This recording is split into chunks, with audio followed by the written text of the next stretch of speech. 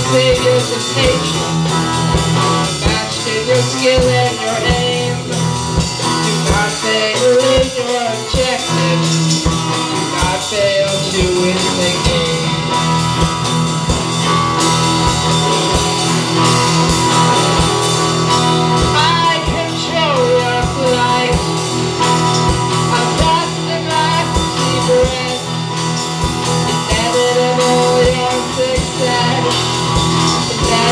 Bible.